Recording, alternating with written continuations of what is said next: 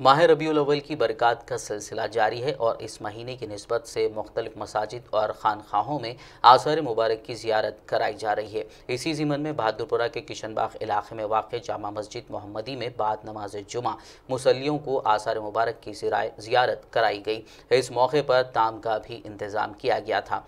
वहीं आसार मुबारक की जियारत का शर्फ हासिल करने वाले शमा मोहम्मदी के परवानों ने अनमोल आसार मुबारक की जियारत का शर्फ बख्शने पर मस्जिद कमेटी का शुक्रिया अदा किया।